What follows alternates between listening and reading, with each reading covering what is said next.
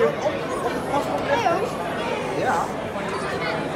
Ja, jij zit ervoor. Je zit ervoor, dat moet je niet doen, dat is gewoon Kijk. Zie je wat ik doe? Wat zien jullie allemaal? Hey, dit is de Virtuality.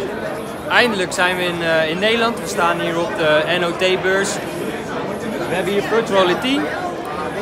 Leren, anatomie leren door middel van augmented reality. De app is helaas alleen nog in het Engels. Dat is de reden dat we hier staan. We hebben nu 200 sales nodig om deze app in het Nederlands te kunnen gaan vertalen. En we hopen dat het hierbij gaat lukken.